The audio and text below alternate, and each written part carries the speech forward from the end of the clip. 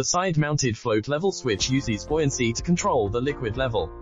It is usually divided into two parts, a junction box and a float. A permanent magnet is installed on the arm end of the floating ball link, and a corresponding switch device is provided in the junction box. In order to adapt to different working conditions, the side-mounted float level switch can use different materials. For example, the explosion-proof type adopts SUS 304, 316 metal, PVDF plastic material, etc.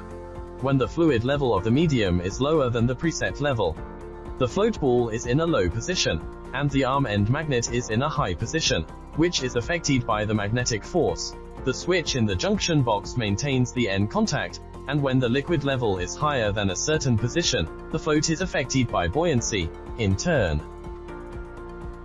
The switch in the junction box can be switched to NC contact, only by flipping the position of the wiring port on the lower side of the floating ball. You can freely switch its initial state to achieve different control schemes.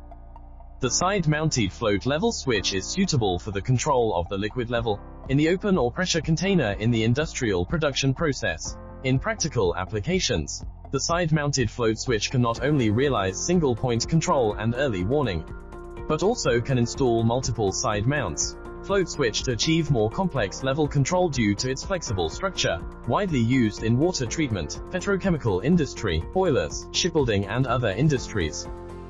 Feejoy technology in focus on providing smart sensor solutions.